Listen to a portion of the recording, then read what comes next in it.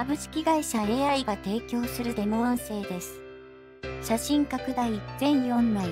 今季限りで現役を引退する巨人大竹関投手38が25日東京ドームで記者会見した。これはデモ音声です。通算102勝101敗17セーブ、防御率3.77の右腕は報道陣に101杯のカップ麺をプレゼント。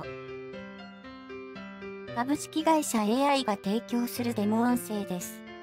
ラーメン好きな一面や、温厚な人柄で知られたベテランらしい爆笑会見で、20年間のプロ生活に幕を閉じた。これはデモ音声です。自身にいろんな人に支えられたね。株式会社 AI が提供するデモ音声です。これだけ食べて、この体型で20年よくやったな。株式会社 AI によるデモ音声です。もう少し健康に気を使えばよかったね。ラーメン好きとして知られ、報道陣には通算101杯にかけて101杯のカップ麺をプレゼント。これはデモ音声です。アスリートを卒業して最初の一杯には家系ラーメン。株式会社 AI が提供するデモ音声です。しっかり味わいたい。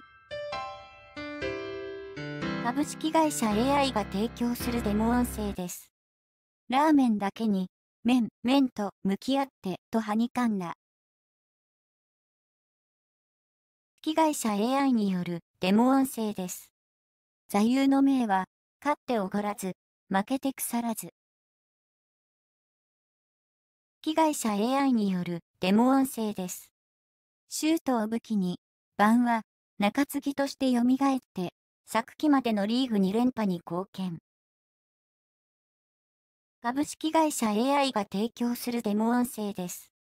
黒田博樹さんの見よう見まねで、右打者の内角に思い切って投げたのが始まり。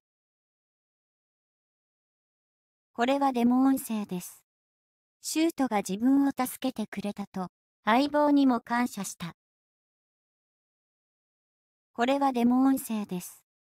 これからも、この世界でお世話になって、何かしらの力になれたらと、大竹。これはデモ音声です。涙はなく、最後まで、笑顔いっぱいの1時間だった。株式会社 AI が提供するデモ音声です。谷川直之